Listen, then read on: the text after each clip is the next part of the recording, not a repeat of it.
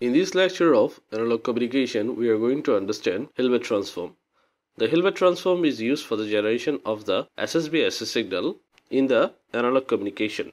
Here, we will understand the Hilbert transform in details and we'll do some examples of the Hilbert transform. So, let's get started. Hilbert transform of a signal is defined as the transform in which the phase angle of all the components of the signal is shifted by plus minus pi by 2. Mathematically, let's say we have a signal GT and also a linear time invariant filter which is known as Hilbert transformer. The impulse response of this Hilbert transformer is 1 by pi t.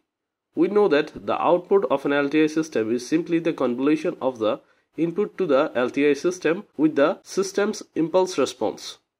The Hilbert transformer, which is also an LTI system, will produce the output in the similar manner. Or the output of this Hilbert transformer is the convolution of the input to the Hilbert transformer with the impulse response of the Hilbert transformer. So the output of this Hilbert transformer is GT convolution with 1 by pi t.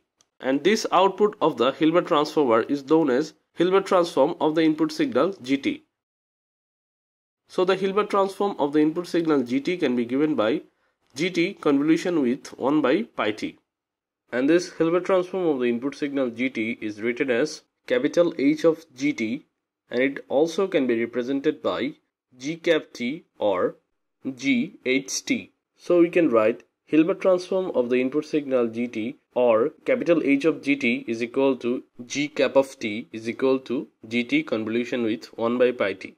Identify this by equation number 1.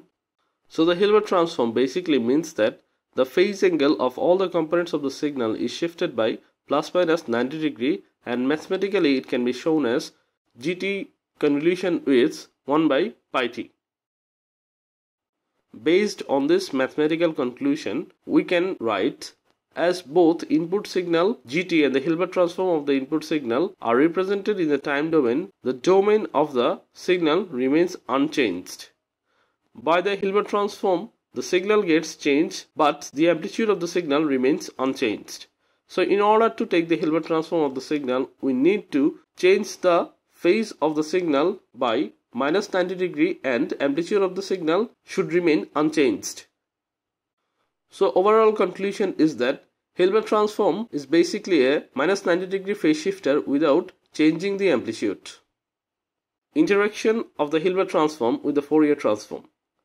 So the output of the Hilbert transform is capital H of gt which is equal to g cap t which is equal to gt convolution with 1 by pi t which can be represented as gt given as the input to the Hilbert transformer and the output of the Hilbert transformer is g cap of t. Here input signal is equal to gt and impulse response of the Hilbert transformer is equal to ht so g cap of t is equal to gt convolution with ht and if we take the Fourier transform on both sides then we can write Fourier transform of g cap of t will be equal to capital G of f into capital H of f where capital G of f is the Fourier transform of the input signal gt and capital H of f is the Fourier transform of the impulse response of the Hilbert transformer. So we can write Fourier transform of the Hilbert transform of the input signal gt or capital G cap of f is equal to capital G of f into capital H of f. Identify this by equation number 2 and if we take the inverse Fourier transform on both sides then we can write Hilbert transform of the input signal gt or g cap of t is equal to inverse Fourier transform of Fourier transform of the input signal gt or capital G of f into Fourier transform of the impulse response of the Hilbert transformer or capital H of f. Now, we previously said that the impulse response of the Hilbert transformer in the time domain ht is equal to 1 by pi t. This 1 by pi t has a Fourier transform of minus j signum f. This signum f is represented as 1 when the frequency is greater than 0, 0 when the frequency is equal to 0 and minus 1 when the frequency is less than 0. So when this signum function multiplied by minus j then it becomes minus j signum f which is equal to minus j if the frequency is greater than 0, 0 when the frequency is equal to 0 and j when the frequency is less than 0. So the Fourier transform of the impulse response of the Hilbert transformer or h of f is equal to minus j signum f.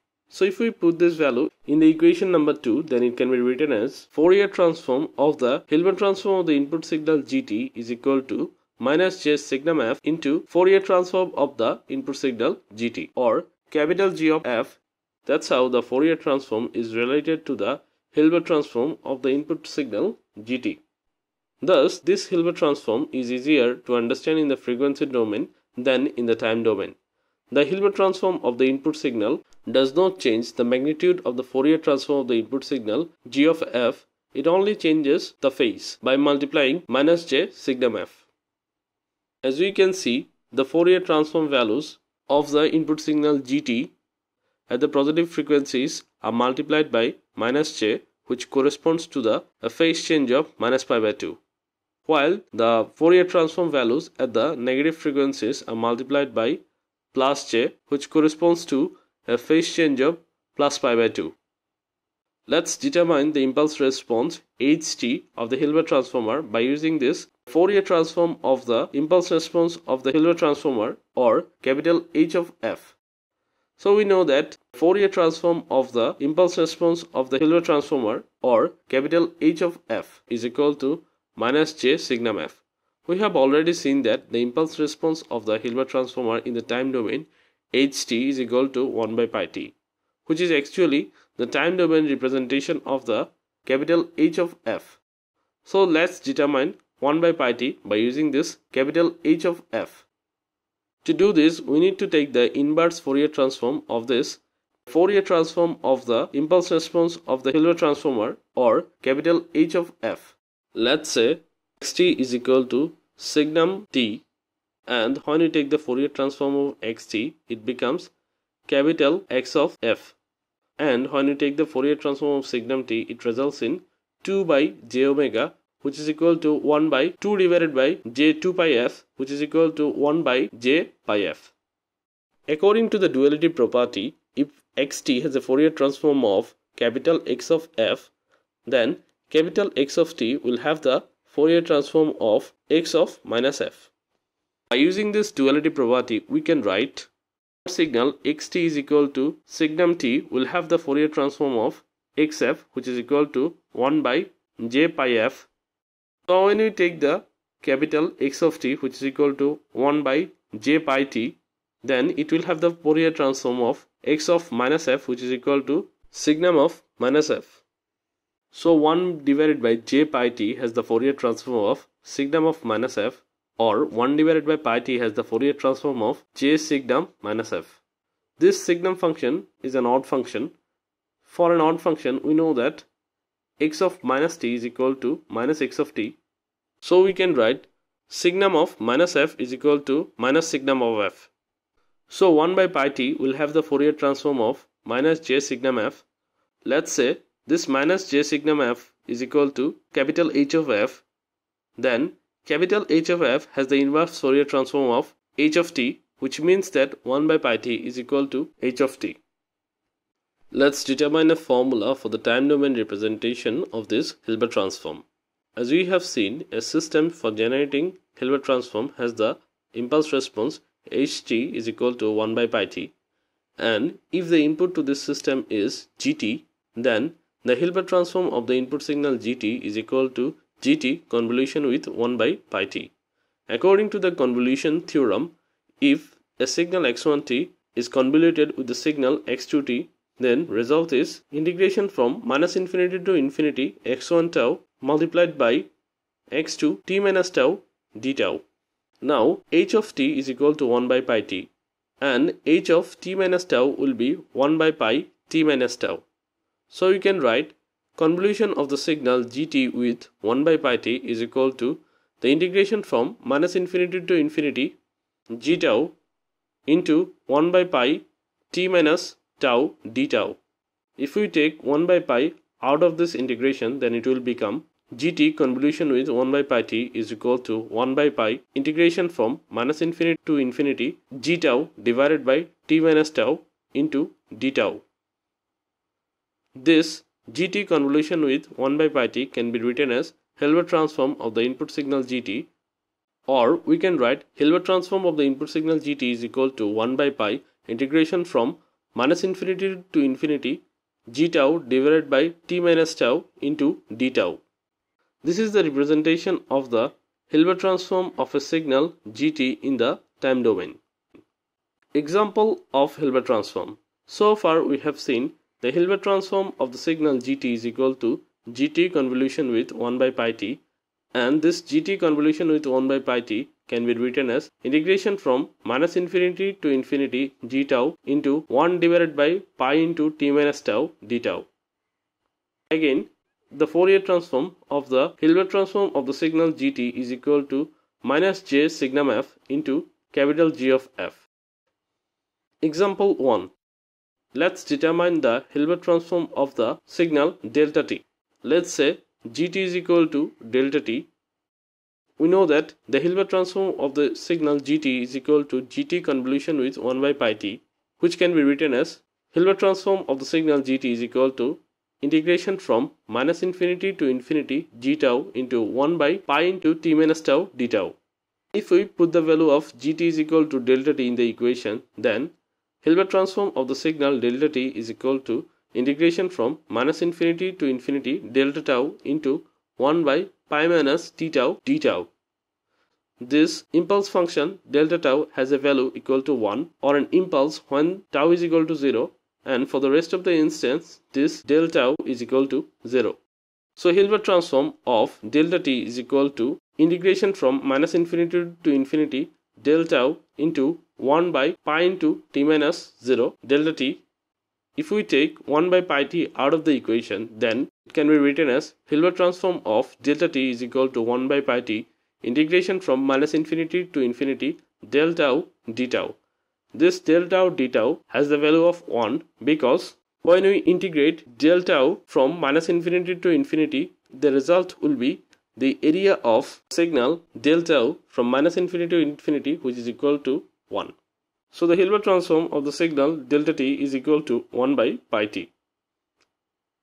Let's take an another example and determine the Hilbert transform of the signal cos 2 pi fct. Let's say gt is equal to cos 2 pi fct and again the Hilbert transform of gt is equal to gt convolution with 1 by pi t and if we take the Fourier transform on both sides then it can be written as minus j signum f into capital G of f. This capital G of f is the Fourier transform of the input signal gt. If we put gt is equal to cos 2 pi fct in the equation then we can write Fourier transform of the Hilbert transform of the signal cos 2 pi fct is equal to minus j signum f into Fourier transform of cos 2 pi fct. Now the Fourier transform of this cos 2 pi fct is equal to half into del f minus fc plus del f plus fc. If we put this value in the equation, then it can be written as Fourier transform of the Hilbert transform of the signal cos 2 pi fct is equal to minus j signum f into half into del f minus fc plus del f plus fc. Let us look at this thing graphically. Now we know that signum of f is equal to plus 1 when the frequency is greater than 0 and it is equal to 0 when the frequency is equal to 0 and it is equal to minus 1 if the frequency is less than 0.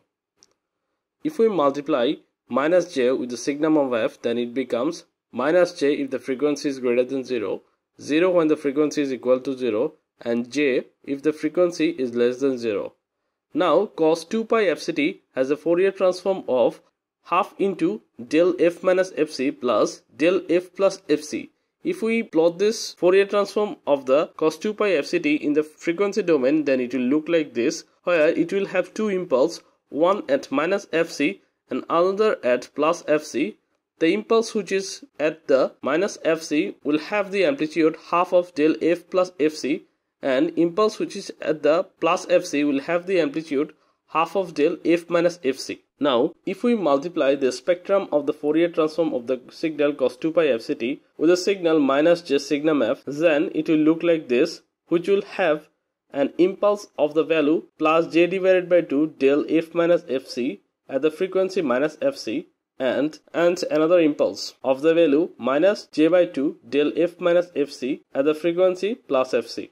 Now if we multiply j with both denominator and the numerator of both the impulse then the spectrum of the signal minus j signum f multiplied by Fourier transform of the signal cos 2 pi fct will look like this which will have an impulse of the value minus 1 by 2j del f minus fc at the frequency minus fc and another impulse of the value 1 by 2j del f minus fc at the frequency plus fc.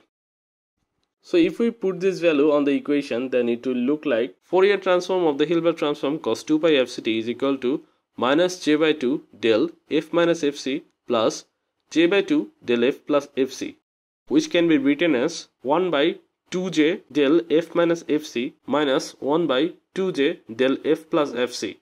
This is done by multiplying both numerator and denominator by j.